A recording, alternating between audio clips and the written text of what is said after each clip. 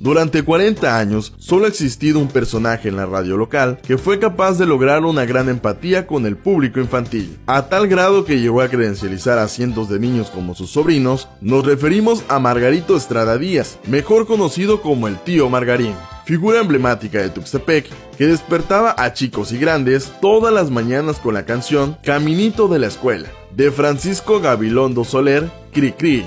Hola, ¿qué tal? Les saludo con gusto, con mucha alegría, su amigo Margarito Estrada Díaz, conocido para ustedes, escuchen bien, el tío Margarín, el que los felicita y los saluda ahora a mis sobrinos que son grandes profesionistas. Un abrazo, los quiero y también quiero felicitar a todos los niños de la cuenca del Papaloapan, a todos los niños de Oaxaca, a todos los niños de México, porque recuerden, el tío Margarín estuvo casi muchos años con ustedes en el programa El Club del tío Margarín. Estoy contento y deseo lo mejor para todos ustedes y quiero felicitar también al auditorio grande, hermoso que me hizo el gran tío Margarín.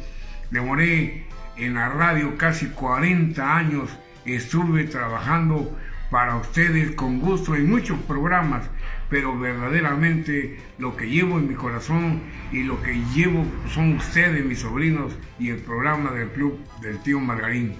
Tío Margarín, muy buenos días, me incluyo entre sus sobrinos. Para quienes no saben quién es la personalidad y de verdad gran personalidad que estamos entrevistando en este momento, él todavía mantiene su carnet vigente de locutor, pero lo fue en activo durante muchos, pero muchos años en la radio local en Tuxtepec, donde tuve la oportunidad también de trabajar posteriormente.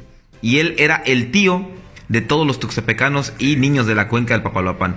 Muchos, usted tuvo la empatía con los niños para credencializarlos y todos queríamos tener la credencial del tío Margarín. Platíqueme cuántos sobrinos llegó a tener aproximadamente en ese club. Eh, arriba de 100 sobrinos tenía yo. Bastantes sobrinos porque digo credencializados, pero en realidad tenía yo a todos los, los niños, los muchachitos, estaban con el tío Margarín. ¿Con qué canción iniciaban las mañanas? Pues en alguna ocasión, porque fueron varias etapas, pero eh, iniciaba yo con este... Me acuerdo de Caminito de la Escuela. Eh, sí, efectivamente, Caminito de la Escuela. Sí, tío Margarín, eh, pues los niños que en su momento lo escucharon, ahora profesionistas, como usted lo dijo, ¿qué le dicen cuando lo ven en la calle? No, hombre, se sienten contentos al volverme a saludar y algunos niños, algunas personas ya mayores, se han sorprendido cuando me ven dicen, yo no sabía que, que el tío Margarín todavía estaba con nosotros, qué bueno que el tío Margarín está con nosotros, porque yo lo escuchaba todos los días y siempre lo apreciaba y siempre nos saludaba a través de las ondas sonoras, nos llegaba el saludo del tío Margarín para todos nosotros. Claro que sí, yo siempre estuve saludando a los niños con alegría, con amor y dándole consejos, pórtense bien, háganle eh, reverencia a sus padres, dándole los consejos, lo que es normal para los niños, pues que obedezcan al maestro, que no coman comida chatarra, que eh, se fijen bien cuando van a atravesar las calles, porque pues ellos son niños y a veces andan distraídos y que tengan este, mucho cuidado en todo eso. Eran algunos consejos, pero más que nada, siempre estaba yo con la música que me pedían. Por ejemplo, yo siempre tengo en mi mente el famoso este, eh, Pánfilo con ese del teléfono ah, carpintero. El teléfono que parece carpintero, como hace ring. Me lo pedían hasta 10 veces en un programa. ¿Y se las ponía? Pues le ponía, no, nada más una o dos. Oiga, ¿de dónde nace el tío Margarín? Bueno, el tío Margarín nace precisamente después de la muerte, acuérdate que había el tío Gamboín en la televisión a nivel nacional y muere el tío Gamboín y este y en un cambio de, programación se, elaboró un programa para niños que le, le, llamaron el Club del Tío Margarín porque entonces cadena que paz descanse que vino de México, de la cadena, este, dice Teo, mira, como ya no tenemos a Gaboy, tú, porque yo tenía programas anteriormente de, de los niños, desde que empezaba la radio. Pero ahí hasta el club de Tío Margarín fue cuando empezó a... Detonó la bomba, Sí, literalmente. sí, exactamente.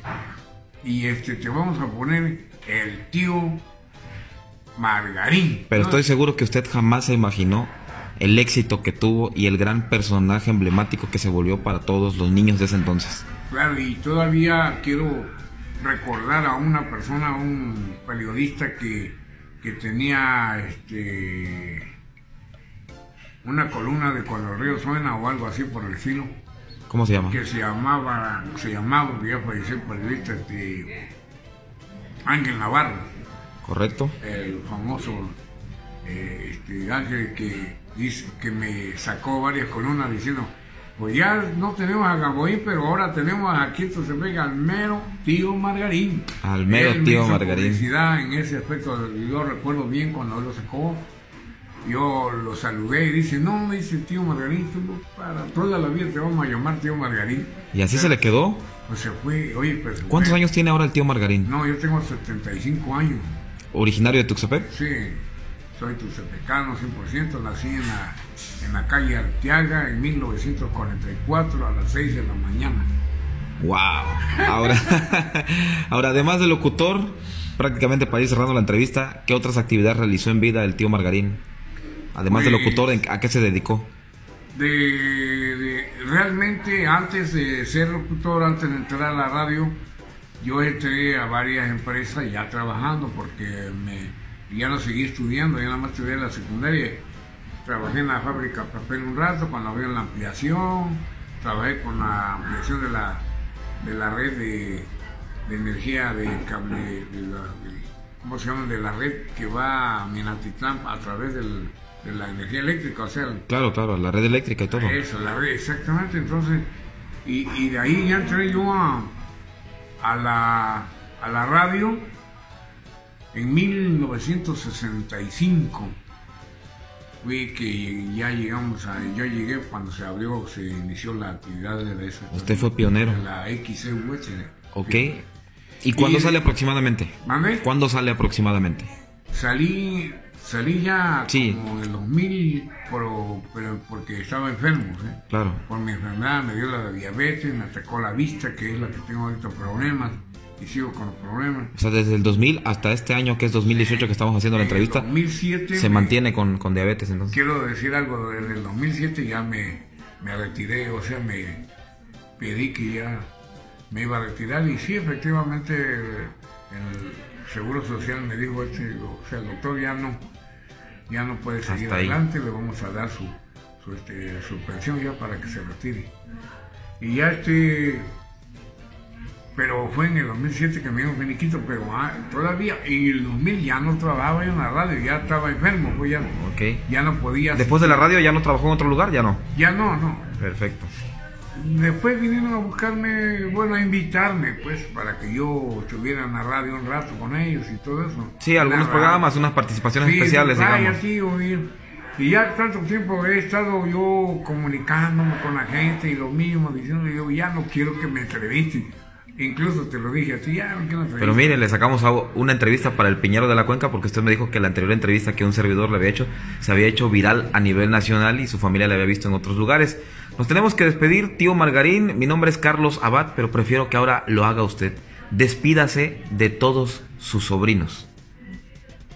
Bien, quiero despedirme de ustedes con mucha alegría, con mucho amor. Los quiero mucho a todos ustedes, a los que fueron mis radio oyentes en aquel entonces del, programa El Club del Tío Margarín. A ustedes que ahora son profesionistas, son personas mayores. Y pues ahora ya no tienen al tío Margarín, pero tienen al abue- el abuelito Margarín. Aquí está con ustedes y les envío un abrazo y me despido y que estén bien y vamos a seguir adelante hasta donde Dios diga.